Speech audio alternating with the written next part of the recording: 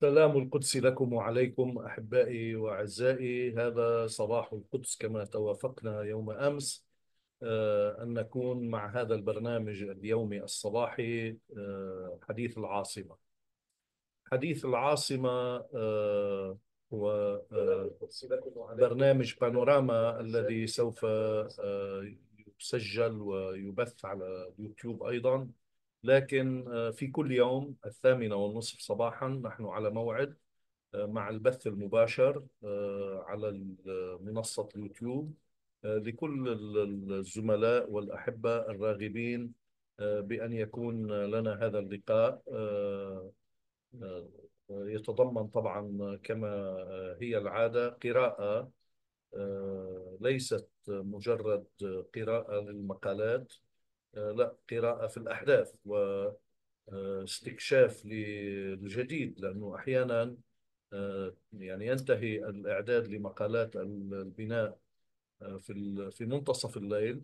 ومثلا هلأ خطاب بايدن بالأمس بعد منتصف الليل وبعد أن انتهى الإعداد لمقالات البناء وأقفل التحرير. أضف إلى ذلك أنه آه، أثناء قراءة المانشات أو النقاط على الحروف أو آه، التعليق السياسي أنا أضيف يعني هوامش وحواشي ومعلومات وتحليلات آه، لا يتسع لها المجال في مقال عادة أريد له أن يكون مختصرا ما أمكن. يعني مقدمة المانشات لا تتعدى الألف كلمة هكذا النقاط على الحروف آه، التعليق السياسي بحدود 300 إلى 400 كلمة.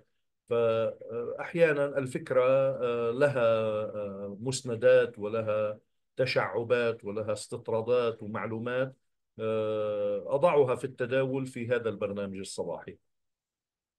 ولما بيكون في حدث هيك بيثير الوجدانيات والمشاعر والعواطف وهذا فبيجي صباح القدس يعني أيضا يصبح جزءا من آه، هذه الفقرة.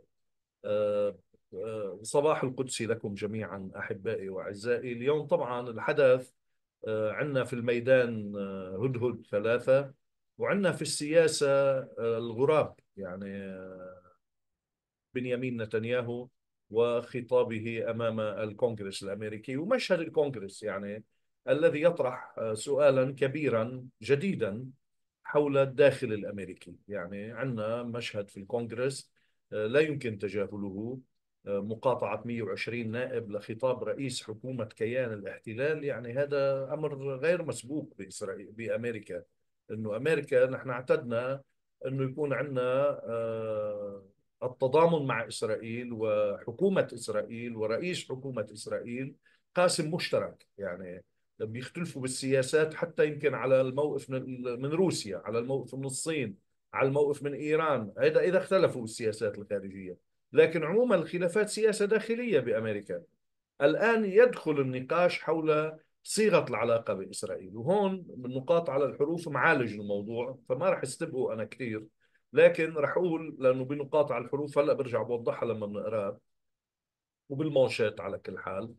إنه نحن قدام آه، اثنين أمريكا كبار. آه، أمريكا الجمهوري آه، الحزب الجمهوري هي أمريكا الإسرائيلية. شو يعني أمريكا الإسرائيلية؟ هاي نقطة أنا ماني شارحها بالنقاط بنقاط على الحروف. إنه بعد ما نجحت الحركة الصهيونية بتأسيس الكيان نشأ شيء مادي ملموس. له علاقة باللي إجوا استجابوا لدعوة الهجرة واللي خلفوا وأنشأوا دورة حياة بالأراضي الفلسطينية المحتلة وشركات ومصالح وأصبحوا جزء من معادلات سلطة وشهوة سلطة. فصار في شيء اسمه المصلحة الإسرائيلية التي تعبر عنها حاصل العملية السياسية داخل الكيان اللي بتتم من خلال الانتخابات وشحذ الهمم والنفوس والتعبئة العقائدية الصهيونية والتطرف ولغة القتل والموت والهذا هذه العملية السياسية تنتج نخبة سياسية إسرائيلية تقارب السياسة من موقع مصالحها ومن موقع رؤيتها لمصلحة إسرائيل. ليست بالضرورة متطابقة مع رؤية الحركة الصهيونية العالمية التي تمثل أصحاب المشروع الأصليين رعاته حماته داعميه مموليه القيمين عليه الذين يرون وظيفته في قلب الرؤية الإجمالية للمصلحة الاستعمارية العالمية وبالتالي الذين يقيمون السياسات التي يجب أن تكون عليها آه، سياسات إسرائيل بصورة قد لا تتطابق مع رؤية هذه الشريحة التي وصلت إلى الحكم وهي التي ترسم السياسة في إسرائيل. فإذا بدا لنا هذا الخلاف هو مش خلاف بين من مع إسرائيل ومن ضد إسرائيل تمام؟ نتوهم يعني. هو خلاف بين مقاربتين في رؤية المصلحة الإسرائيلية. بين مقاربة إسرائيلية صهيونية طبعا لكن هي مقاربة إسرائيلية هي المقاربة الملموسة للشريحة الصهيونية التي تحكم فلسطين المحتلة. وبين المقاربة الملموسة للشريحة الصهيونية التي تدير اللعبة الدولية واللي مركزها واشنطن. فالحزب الديمقراطي يمثل الحركة الصهيونية العالمية. الحزب الجمهوري هو أقرب ليكون مساندا لإسرائيل. هلأ اثنين في نهاية المطاف محكومين بمعادلة واحدة. شو هي؟ إنه نحن تورط بحروب ناخذ القرار فيها بناء على مصلحة أمريكا. ويمكن ديمقراطي بيروح أبعد إذا المصلحة الصهيونية تستدعي مما يروح الحزب الجمهوري اللي بيأيد إسرائيل أكثر من الحزب الديمقراطي كإسرائيل يعني كحكومة حاكمة في فلسطين المحتلة بزقف لها وبيحمس لها وبيهيئ لها وبيأيدها وبيدعمها وبدها القدس بيمضي لها وبدها الجولان بيمضي لها وبدها بغداد بيمضي لها لكن ما بيبعث قوات تقاتل إلا إذا مصلحة الأمن القومي الأمريكي تستدعي إرسال قوات وذهب إلى العراق وفي باله أيام جورج بوش الابن وفي باله أمن إسرائيل لدرجة إنه كثير من المخالفين لحرب العراق قالوا إنها حرب إسرائيل وليست حرب أمريكا. لكن عندما يرى أن رد الاعتبار للمكانة الإسرائيلية أمر تستطيع أمريكا أن تفعله ولها مصلحة فيه.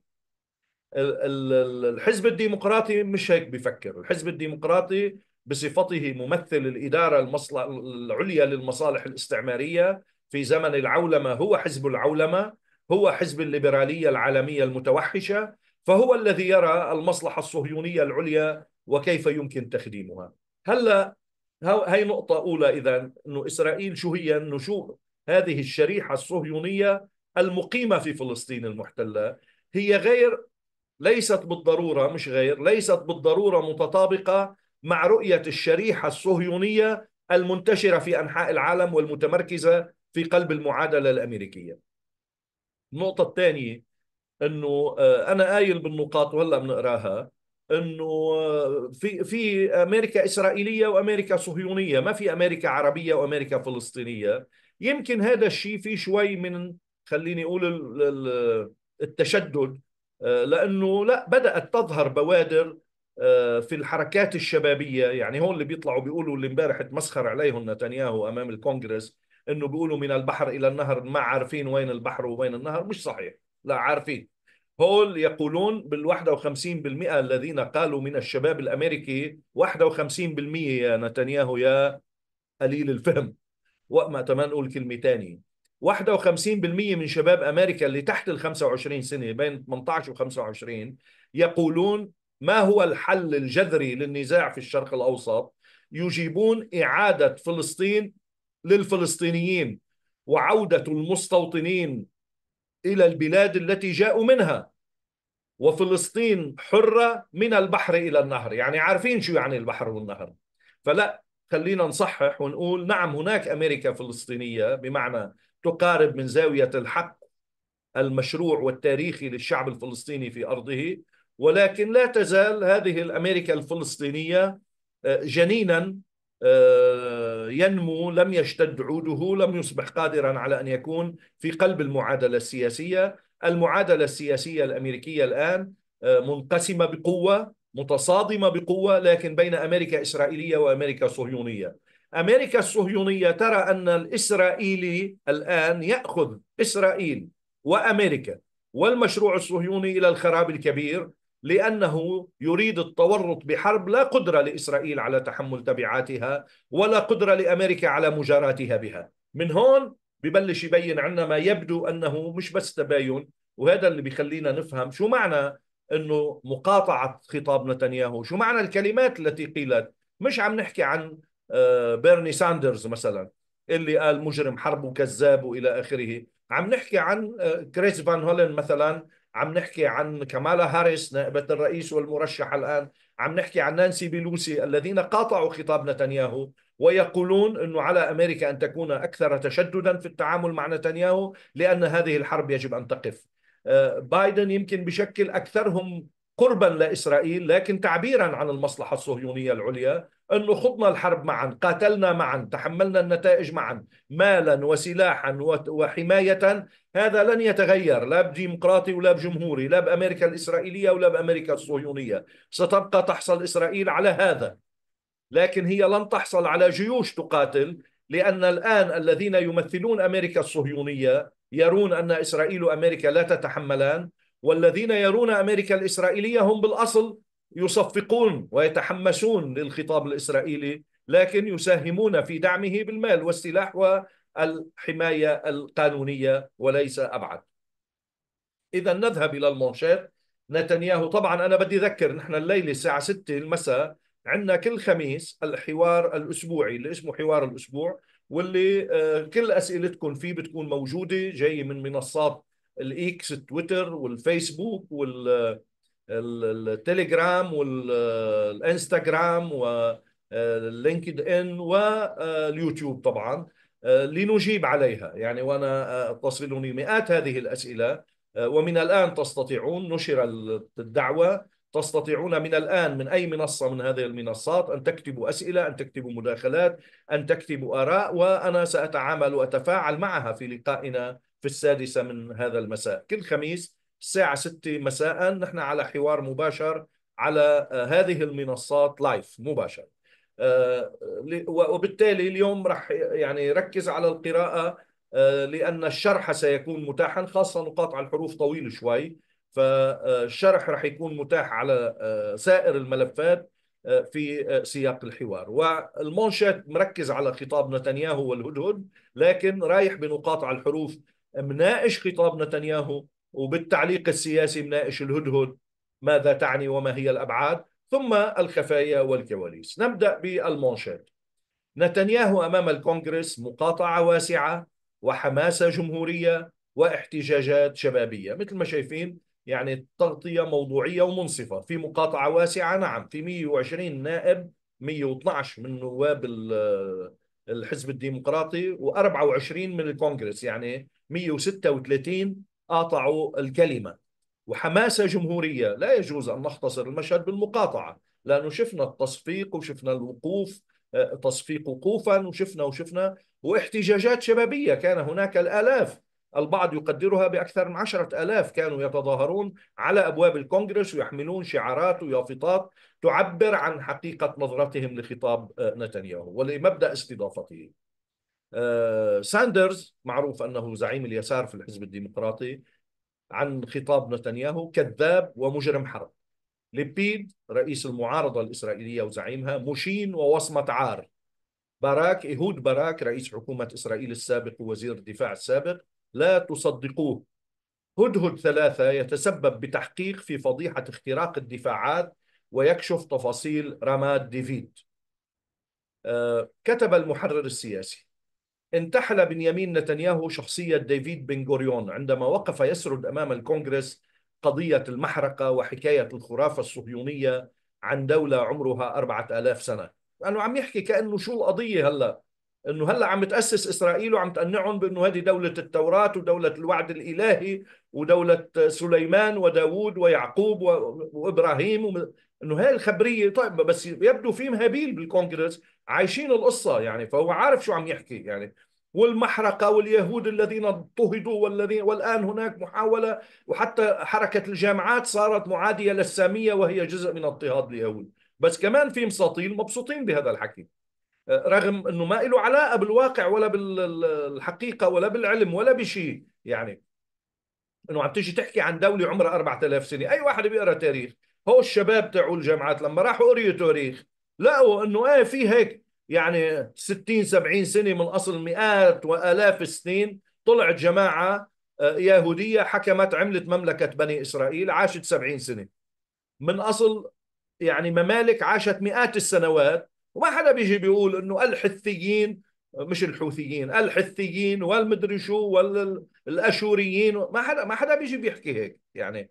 ومعاشت اعمارا أطول يعني. المغول قعدوا ببلادنا أكثر فبالتالي يعني في سخافة بمقاربة الموضوع من الزاوية الفكرية والتاريخية. ثم الحكي على المحرقة. مين مين اللي عمل المحرقة فيك يا نتنياهو وباليهود وبهذا؟ مش العرب ولا المسلمين. بأوروبا هاي روح انتقم من أوروبا روح عائب بأوروبا. ما فيك تجي تحكي على المسلمين بعداء السامية وأغلبهم من أصول سامية. العرب ساميين يعني على من تتلو مزاميرك يا داوود؟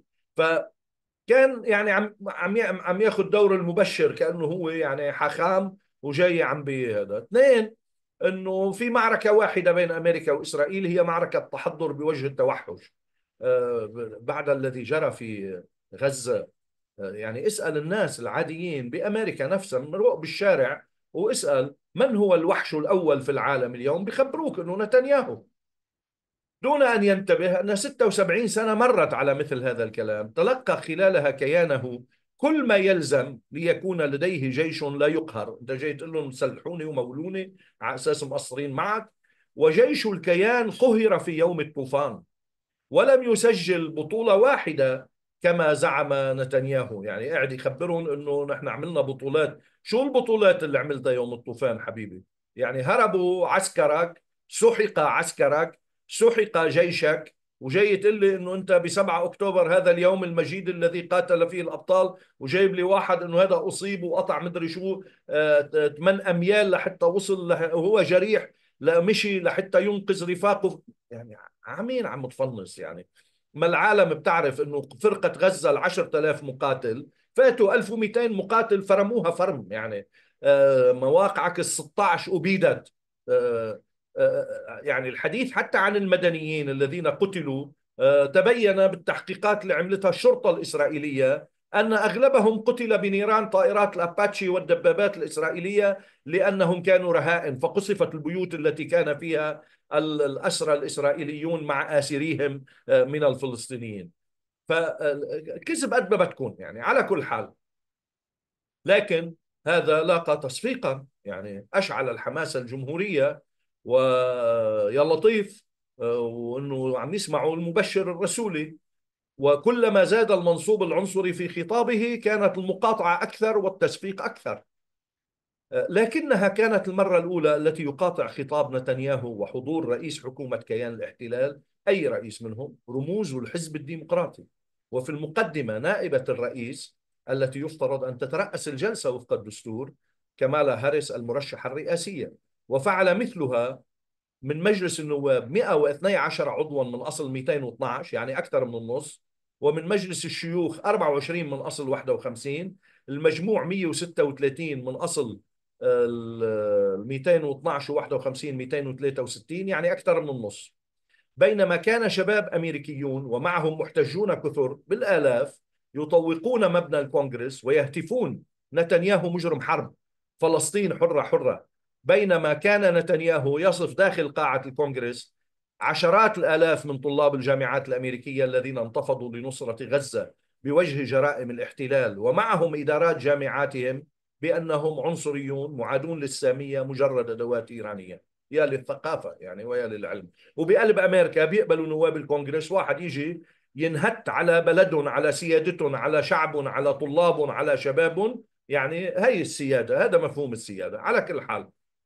يعني إنه دمي أمريكا في اللعبة التي تح... هي أمريكا الجمهورية إيه هيك يتلاعب بها نتنياهو بكلماته.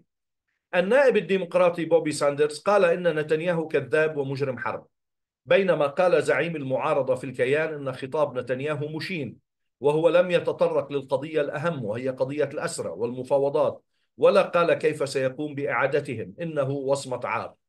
تحدث رئيس الحكومة السابق إيهود باراك لقناة سي أن أن فتوجه للأمريكيين قائلا لا تصدقوه إنه يضللكم. متسائلا كيف سيخرج نتنياهو بالكيان من النفق المظلم الذي أدخله فيه؟ في الوقت ذاته الذي كان يقف فيه نتنياهو أمام الكونغرس يختبر مواهبه الخطبية كان داخل الكيان على موعد مع تظاهرات صاخبة تندد بنتنياهو وتطالبه بالإسراع بالتوصل لاتفاق ينهي قضية الأسرى ويوقف الحرب بينما انشغل الوسط العسكري والأمني بما نشرته المقاومة عن حصاد طائرة الهدهد ثلاثة حول قاعدة رماد ديفيد الجوية وقد قامت بتصوير مفصل للقاعدة. التقديرات 20 متر كانت المسافة من خلال رؤية المشهد وحجم المباني آه، مفصل للقاعدة واقتراب من مواقعه من مواقعها السرية. والقبب الحديدية والرادارات ما أثار فضيحة حول شروط الأمان في قاعدة من أهم القواعد الجوية في الكيان. يفترض إذا بدها تقرب عليها طائرة هواة تاعت أعراس أنه بتشتعل النيران تطلق المضادات وإلى آخره. آه، تحدث الخبراء والضباط السابقون في جيش الاحتلال لقنوات التلفزة العبرية عن رسائل الهدهد فأجمعوا أن الرسالة الأهم هي أن الكيان بات مكشوفا دون حماية. خاصة جاي بعد يافا التي أرسلها اليمنيون. وأن حزب الله قادر على الوصول بأسلحته وطائراته وصواريخه إلى أي نقطة في الكيان. وأنه يعلم عن داخل المؤسسات الأمنية سمى قائد القاعدة ويعلم عن داخل المؤسسات الأمنية والعسكرية الحساسة ما لا يعلمه كثير من المسؤولين آه، في الكيان. إذا هذا بالنسبة لنا آه، المنشط ننتقل إلى نقاط على الحروف. نتنياهو بين أمريكا الإسرائيلية وأمريكا الصهيونية. لا نقاش قبل كلمة بنيامين نتنياهو أمام الكونغرس وبعدها حول أن الدعم الأمريكي لكيان الاحتلال لن يتوقف أو يتبدل مع أي رئيس أمريكي. كما لا نقاش في أن ما قدمته وتقدمه إدارة جو بايدن هو ذاته ما يمكن لإدارة برئاسة دونالد ترامب أن تقدمه عمليا. كما تقول رئاسة ترامب السابقة حيث لم يتبقى مما لم يقدمه بايدن إلا إرسال الجيوش الأمريكية لخوض حرب كبرى مع قوى ودول محور المقاومة وهو ما سبق لترامب أن تهرب منه تماما كما يفعل بايدن. لن يجد نتنياهو في واشنطن رئيسا يمنعه من ارتكاب المزيد من الجرائم أو يجبره على وقف الحرب ولن يجد رئيسا يوقف عن حكومته وجيشه التمويل والسلاح. أو رئيسا يسمح بملاحقة الكيان وحكومته وجيشه أمام المحاكم الدولية. أو رئيسا يسمح بصدور قرارات عن مجلس الأمن الدولي تدين جرائم الاحتلال أو تفرض عليه الإذعان لموجبات القانون الدولي. لكنه أيضا لن يجد في أمريكا رئيسا يقرر إرسال الجيوش الأمريكية للقتال لترجمة أهداف نتنياهو وحكومته وجيشه. لن يجد ذلك في أمريكا بايدن التي هربت من أفغانستان وهي تخوض حربها هي وليس حرب إسرائيل ولا في أمريكا ترامب التي هربت من الرد على هجوم أرامكو عام 2019 وتهربت من الرد على إسقاط طائرتها التجسسية العملاقة هي وليس طائرة إسرائيلية فوق إيران. وفي أمريكا أوباما وترامب وبايدن تم تفادي تجريد حملة عسكرية لربح المنازلة حول سوريا ولذلك يستطيع نتنياهو العائد إلى غرفة نومه أن يكون مطمئنا أنه بخطابه وبدون خطابه. سوف يحصل على ما يحصل عليه وأن أحدا لن يضغط عليه لتغيير أهدافه.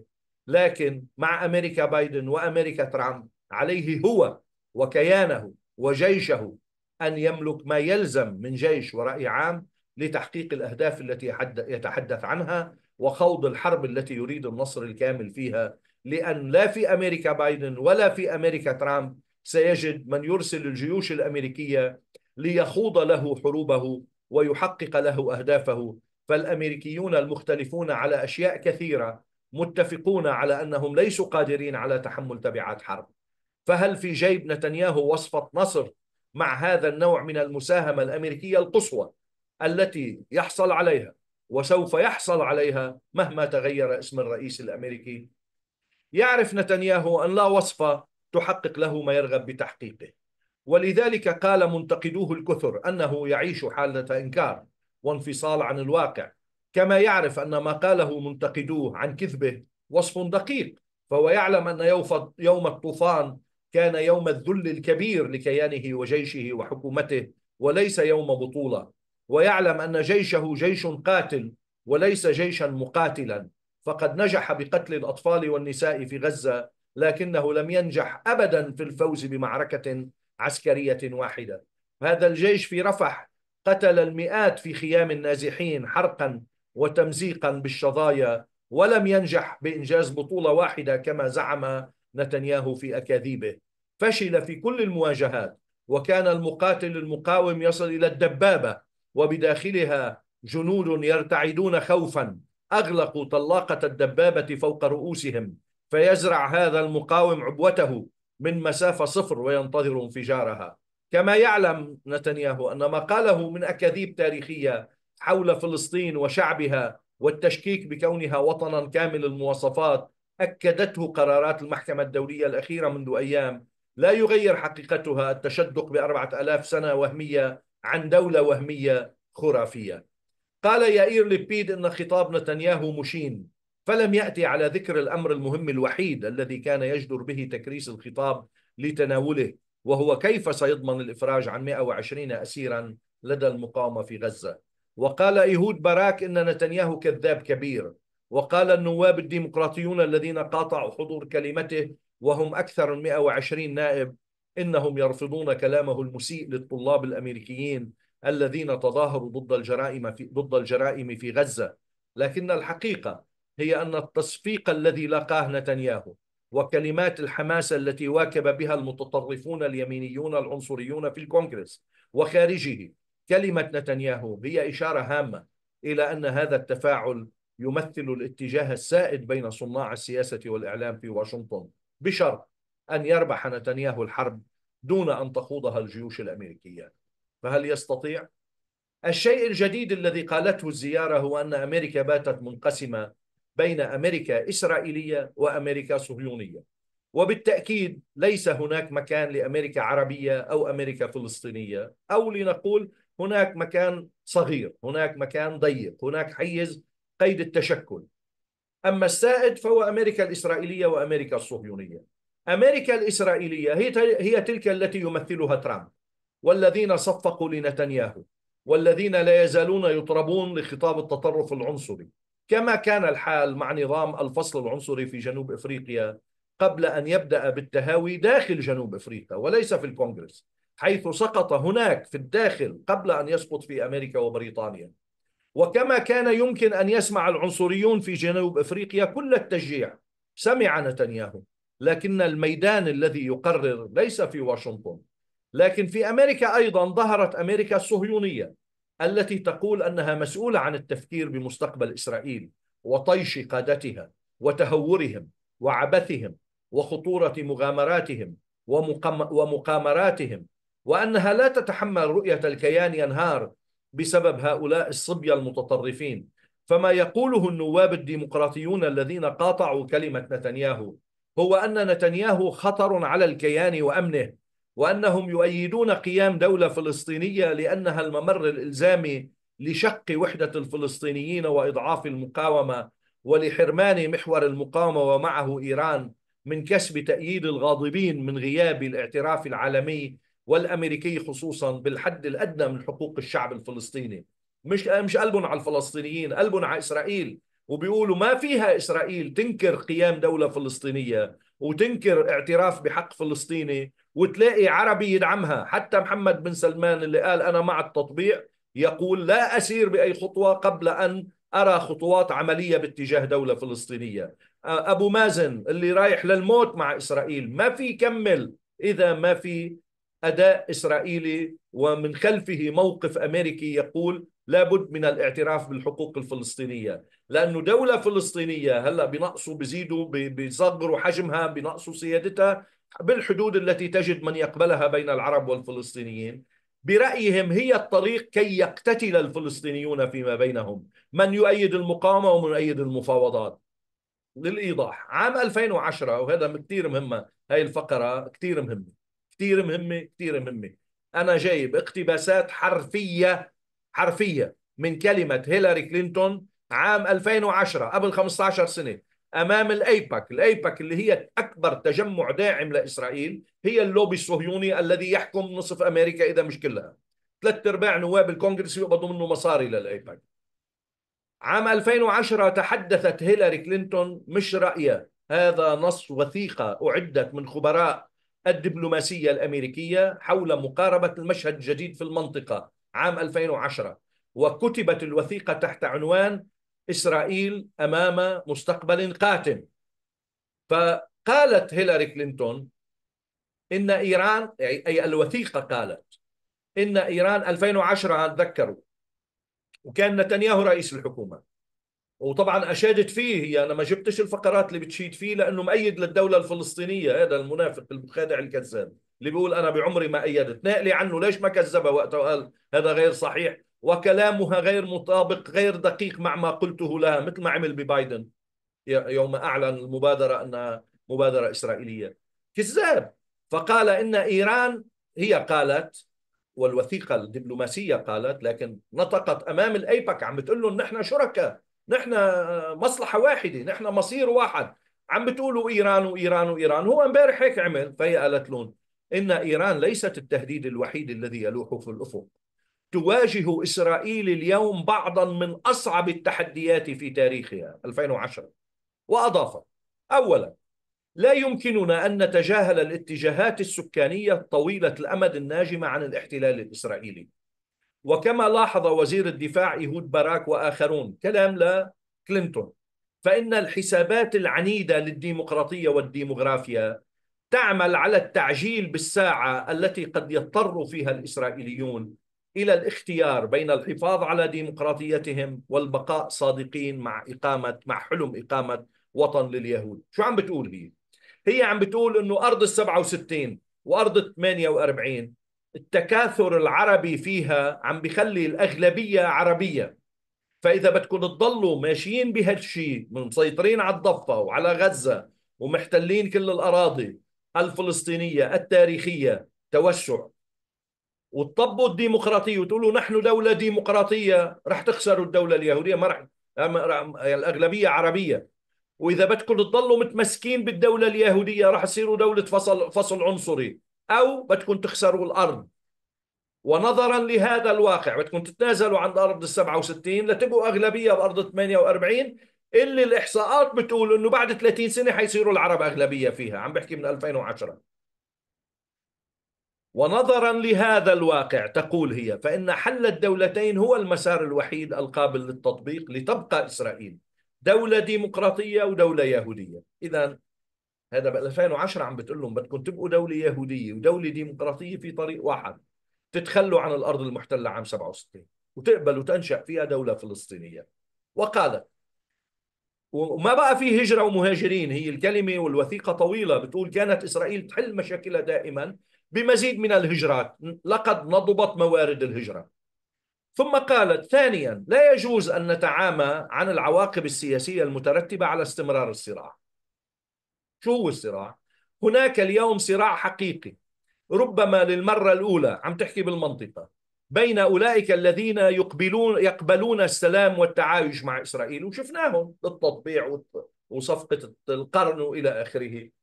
والسلطة الفلسطينية وأوسلو قبل وادي عربة وكامب ديفيد. بين هؤلاء يعني العرب هي عم تقول وأولئك الذين يرفضونه يرفضونه ولا يسعون إلا إلى استمرار العنف. وطبعا هناك أمريكيين ومنهم هيلاري كلينتون ومنهم الديمقراطيين بيقولوا كمان بين المستوطنين هناك من يريد إسرائيل على كامل الأرض من البحر إلى النهر ويريد تهجير الفلسطينيين ولا يريد أن يرى فلسطيني. فتقول إن الوضع الراهن يقوي الرافضين الذين يزعمون أن السلام مستحيل ويضعف أولئك الذين يقبلون بالتعايش. هلا آه، كريس فان هولن هذا النائب الديمقراطي حكي كلام مشابه. شو قال؟ إنه عمليا اللي بيقول بدي من البحر للنهر إسرائيل مثل اللي بيقول بدي من البحر للنهر فلسطين.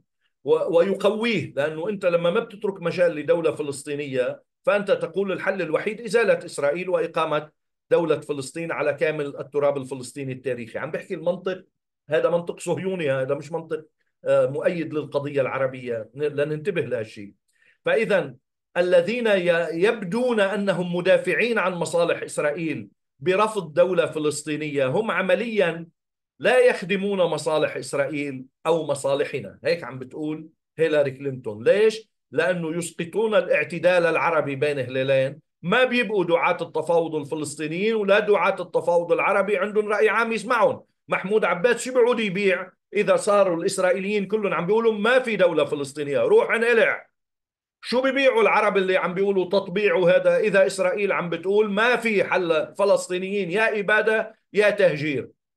ثم ختمت ثالثا أنه إذا لتنمي مصلحة أمن إسرائيل وتحيطها ببيئة متفهمة ومتقبلة ومتأقلمة ومتعايشة يجب أن تعطي دولة فلسطينية. والإصرار على أنه فلسطين من البحر للنهر هي دولة إسرائيل والقدس الشرقية وغربية هي عاصمة إسرائيل هذا يؤجج الصراع هذا يغذي الذين يقولون في المنطقة أن لا إمكانية للتعايش مع إسرائيل ولا بد من إزالة إسرائيل. وطبعا عم يحكوا هلأ إن الديمقراطيين إنه إيران نعم إيران عدو إيران خطيرة وإيران تتربص منها لكن اللي بيقوي إيران هو أن تبقى القضية الفلسطينية بلا حلول.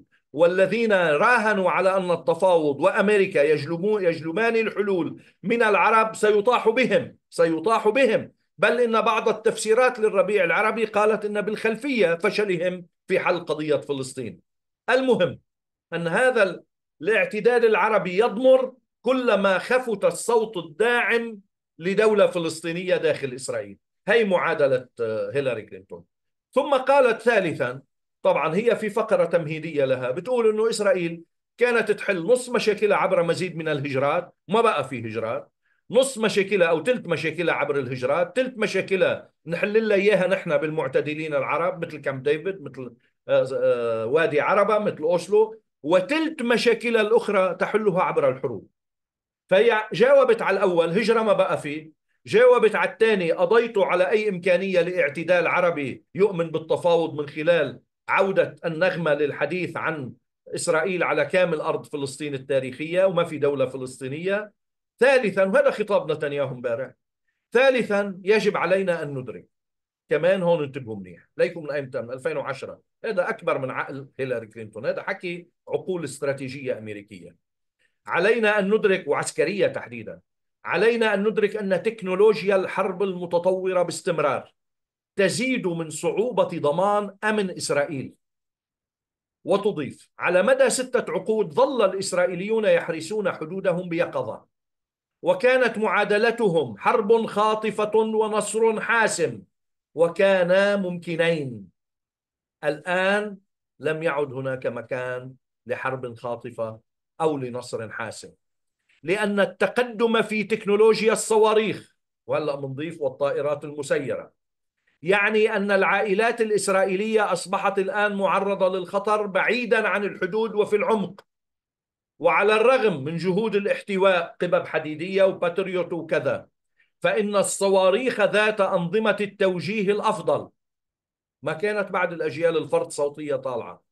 والمدى الأطول والقوة التدميرية الأكبر تنتشر في جميع أنحاء المنطقة. وقد جمع حزب الله عشرات الآلاف من الصواريخ على الحدود الشمالية لإسرائيل. 2010 ما كان عنده بعد صواريخ دقيقة التوجيه اللي بدأت من 2017 تظهر. ولحماس عدد كبير أيضا من الصواريخ في غزة.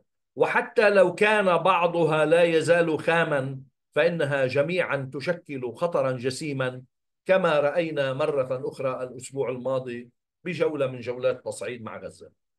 كلام هيلاري الذي أعدته وزارة الخارجية كوثيقة عنوانها مستقبل قاتم ينتظر إسرائيل قبل خمسة عشر عاما لا يزال صالحا من زاوية التهديدات الواقعية التي ينكرها نتنياهو وهو في قلبها. بل أضيف لها تهديد اليمن الذي جاء لاحقا لكلام هيلاري كلينتون عام 2010 ولم يكن طوفان الأقصى إلا ترجمة لإنكار نتنياهو الاعتراف بصحة هذه التهديدات.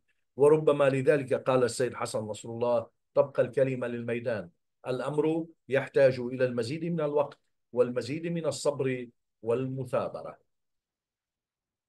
نذهب إلى التعليق السياسي. العنوان شوي ظريف اليوم. بتهدد من هدهد آه، من نسبة إلى الهدهد يعني. في إحدى خطاباته علق الأمين العام لحزب الله على التهديدات الإسرائيلية بشن حرب واسعة على لبنان فقال بتوسع من وسع بتعلي من علي. والقصد بالتوسعة هو المدى الجغرافي. بتروح على بعلبك بنروح على آخر عمق الجولان وأطراف طبرية. أما الذهاب للأعلى فهو المستوى الناري بتقصف بصواريخ قوية بنقصف بصواريخ قوية؟ لكن المقاومة منذ ذلك التاريخ ترد على التهديدات الإسرائيلية في الميدان وترسم معادلات جديدة. هاي على طريقة بتوسع من وسع ومن علي بتعلي من علي. كانت آخرها معادلة السير حول المستوطنات التي سوف تستهدف للمرة الأولى كل مرة ردا على التمادي في استهداف المدنيين وهذا يجري. منذ خطاب سماحته دخلت على الخط طائرات الهدهد التي استعارت المقاومة تسميتها من هدهد النبي سليمان الذي طار إلى سبأ وجاء بالخبر اليقين. وتلاحق وتلاحق حلقات مسلسل الهدهد وفي كل مرة أبعاد جديدة معان جديدة وتحمل كل مرة رسائل جديدة. وقد قال هدهد واحد إن ما تعرفه المقاومة عن حيفا يجعل التفكير بتوسيع نطاق الحرب لتطال مدن الجنوب كما كان بعض الخبراء في الكيان ينصحون كبديل لحرب كبرى تستهدف العاصمة بيروت أنه أقصف السور والنبطية مثلا. آه هذا الهدهد واحد قال له أنه قصف سور والنبطية ومدنيين وهذا نوع من الجنون لأن حيفا سوف تخرج عن الخدمة. نصف مليون مستوطن سيكونون تحت النار من يبقى منهم حيا سوف ينضم إلى صفوف المهجرين. محطة الكهرباء سوف تدمر. آه، خزانات النفط سوف تحرق. آه، تنقطع الكهرباء عن مناطق كثيرة. آه، أزمة وقود داخل الكيان. هذا عدا عن أن مصنع رفائيل للأسلحة الذي أظهره دول واحد سوف يصبح في خبر كان. وهكذا تراجعت موجات التصعيد التي كانت بدأت تطال أطراف سور والنبطية ولأهداف مدنية. جاء هدهد اثنين. وقال للعقل الجمعي في الكيان إن معادلة بعلبك الجولان ليست عشوائية فلا تعبثوا ولا تستهينوا فالمقاومة تعرف الجولان كما يعرف المقاتل في المقاومة كف يده بتطلع هيك وبتقرأ هون مقر كذا هون غرفة تنصت هون مراقبة وتتبع. وكشف هدهد اثنين قواعد استخبارية سرية لم يكن يتوقع أصحاب القرار في تل أبيب أنها تحت عيون المقاومة. ورسالة هدهد اثنين كانت منع أي تصعيد على جبهات البقاع الشمالي العمق الذي تريد المقاومة تأمين الحماية له وفق معادلة بعلبك الجولان وتحقق الهدف.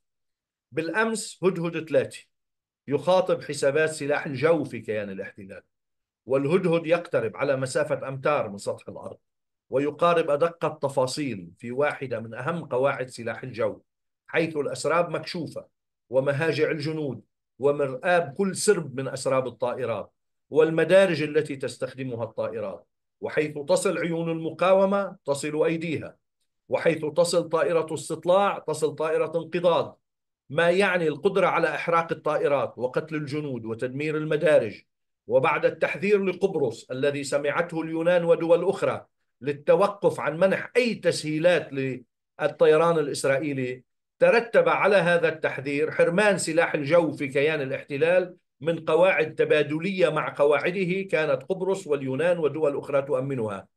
الرسالة تقول إن قواعدكم تحت رحمة نيران المقاومة فلا تتصرفوا كأنكم بأمان وأيديكم طليقة. احسبوها جيدا قبل اللعب بالنار. قد تطير طائراتكم لتقصف في جنوب لبنان لكنها لن تجد مدرجا لتعود وتهبط عليه. لا داخل الكيان ولا خارج الكيان. نذهب إلى الفقرة الأخيرة خفايا وكواليس. خفايا. علق مرجع سياسي على كلام رئيس حزب مناوئ للمقاومة. آه، حول حقه. هذا رئيس الحزب كان عنده مقابلة من كم يوم وعم بفقعوا شرايين وأدمان وعم بشد على حاله وإنه أنا بدي أنا يا أخي بدي إلي بدي أعرف أنا بدي شارك بالجنوب. وسياسات الجنوب وما حدا في يمنعني و... عظيم. المرجع السياسي علق على كلام هذا الشخص رئيس هذا الحزب آه، الذي يطلب أن يكون له حق في رسم السياسة الدفاعية والعسكرية. بالقول إنه يعني آه، رسم السياسة بده كل اللبنانيين. لكن حتى طلب حق الفيتو في الحياة الوطنية بثلاثة نواب يعني ما بحق له. نالوا اصواتا مجتمعين هو ثلاثة. أقل من ما ناله نائب واحد من حزب الله. نوابه الثلاثه جايبين 24 ألف صوت. الحاج محمد رعد جايب 48 48 ألف صوت لنائبه. وهذا الحزب كله نص نايب. هذا الحزب نص نايب. وبده بالنص نايب الفيتو. وبده إنه حزب الله ما يكون عنده فيتو على السياسة الدفاعية والعسكرية. وهو عنده 13 نائب بمجلس النواب. فالمرجع السياسي يقول المعادلة الديمقراطية الصحيحة تقوم على أن تملك الأحزاب نصيبا في القرار الوطني يعادل نصيبها من تصويت اللبنانيين. كواليس. قال أحد المعلقين العسكريين أن ترابط الساحات والجبهات بين قوى محور المقاومة يسمح بالاستنتاج أن ما ينشره الإعلام الحربي عن حصاد الهدهد هو بنك أهداف للمحور. وبالقياس لاستهداف مدينة الحديدة ومينائها ومحطات الكهرباء فيها وخزانات النفط في مينائها أيضا يمكن القول أن حصاد الهدهد واحد عن حيفا وما فيها من أهداف مشابهة صارت حصة يمنية لأنه فيها ميناء وفيها محطة كهرباء وفيها خزانات نفط.